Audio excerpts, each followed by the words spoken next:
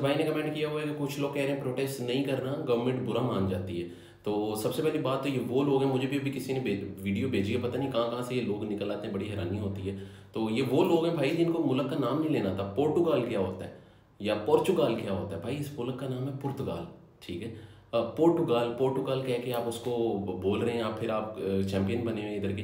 खैर any ways इनकी बातों पे नहीं जाएँगे हम। अब ये कहना था कि जी, गवर्नमेंट बुरा मान जाती है। यहाँ पे ऊपर एक स्क्रीनशॉट पोस्ट कर रहा हूँ। मिनिस्टर ऑफ़ प्रेसिडेंसी गवर्नमेंट का ये कहना है कि वो इमिग्रेंट्स के जो मसाइल हैं, वो बिल्कुल उसको समझती है और वो इमिग्रेंट्स के साथ खड़ी है इन मामला के हल के लिए और उनका ये भी कहना है कि वो मुख्तलिफ़ इदारों से बात कर रही है।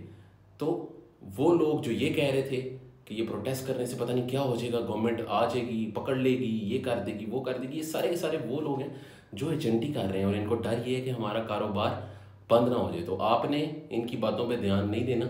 बहुत अच्छी पॉजिटिव डेवलपमेंट है। स्क्रीनशॉट पढ़ें। आप इसको गूगल पे भी सर्च कर सकते हैं। तो कल ही गवर्नमेंट की जानब से ऑफिशियल प्रेस रिलीज़ भी जारी हुई थी। जिस वक्त ये प्रोटेस्ट जारी था, उसी वक्त उनको ये इन्फॉर्मेशन मिली कि इस तरह के लोगों के मसाइल हैं। लेकिन जब तक हम ये मसाइल उजागर नहीं करेंगे तो तब तक गवर्नमेंट को भी नहीं पता लगेगा इदारे भी सोते रहेंगे। हाँ बीच में कुछ ऐसे मसाइल हैं जो अभी हम बहुत सारी चीज़ें देख रहे हैं हमारे, जो यहाँ पुर्तगीज़ मीडिया पे चल रही हैं, लेकिन उसमें हमारी गलती है।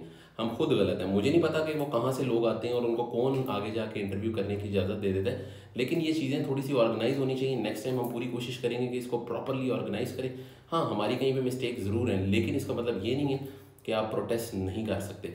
पूरी दुनिया में प्रोटेस्ट का राइट लोगों के पास मौजूद है और यूरोपियन लॉ और पोर्तुगीज़ लॉ के मुताबिक यहाँ पे तमाम के तमाम सिटीजन्स रेजिडेंट्स यहाँ पे रहने वाले लोग they have a right to demonstrate अगर आपको कोई मसला है तो हम ये डेमोन्स्ट्रेशन कर सकते हैं। किसी ने भी बुरा नहीं मनाया, किसी भी अथॉरिटी ने ये नहीं कहा कि आप यहाँ पे क्यों आए उन्होंने आराम से बैठ के मामला को सुने और उन्होंने ये कहा कि हम इनको हल करने की कोशिश करेंगे। तो लोगों की बातों पर ना जाएँ।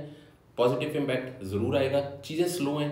ये नहीं आपने समझना कि आज कहेंगे और कल काम हो जाएगा। तो स्लो स्लो स्लो काम ज़रूर होगा। आहिस्ता आहिस्ता। ये नहीं है कि आप कहें कि मैंने आज आ गया हूँ मैं तो भाई मेरा कार्ड मुझे अभी निकाल के दे दो, मेरा पासपोर्ट मुझे निकाल के दे दो, मेरी ईमेल मुझे भेज दो। तो प्रेशर बहुत है, समझें इस चीज़ को, लेकिन इसका पॉजिटिव इम्पैक्ट ज़रूर आएगा। लेटेस्ट न्यूज़ और अपडेट्स के लिए पुर्तगाल इमिग्रेशन न्यूज़ को फॉलो करते रहें।